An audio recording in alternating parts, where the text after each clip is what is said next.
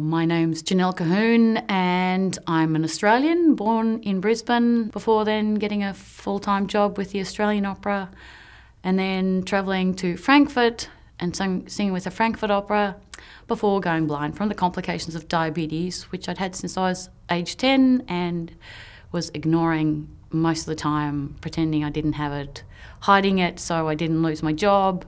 I was fully aware that diabetes could learn, lead to blindness, but that would happen to someone else. And he'd said to me, if you don't get better control of your diabetes, you'll be dead by the time you're 30. And I'm, okay, so if I'm going to be dead, I'm going to be dead, no worries that's the way you think when you're a 17 year old. I'm just going to go out and party really hard. I'm going to push everything to the limit. I'm going to travel the world like I want to do. I'm going to pursue this career as an opera singer that I really want to do. He didn't say you're going to reach 30 and you're going to start suffering. You're going to go blind. Then your kidneys are going to fail. You're going to have all sorts of neuropathies. You're going to have other diabetes complications. It's going to completely ruin your your life, so to speak, with the career, with the travelling, with the independence. And going blind at the age of 29, that took away my career, which was so important to me. It took away my independence, it took away driving my car around Europe, travelling. I was suicidal. I was depressed.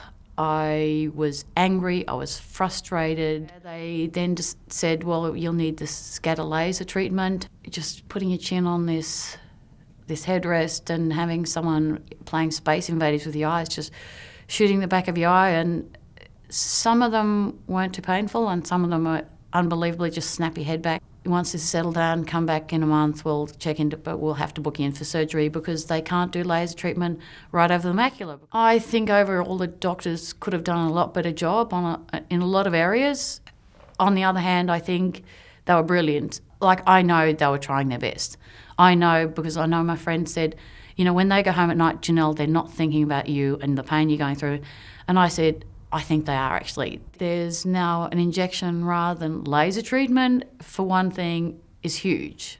Of course, there, I think there's going to be people who, the idea of an a, um, injection in your eyeball is horrendous, and I would have thought the same thing. So I think it's a, going to be a case of doctors really stressing that, you know, that laser treatment is painful it doesn't work anywhere near as well. Go for the injection in your eye. I think everyone should be educated about DME. They think of it still as someone elderly will go blind, and they're not really focusing on that it can happen to really young people. The thing is that a lot of people aren't putting the patient at the centre.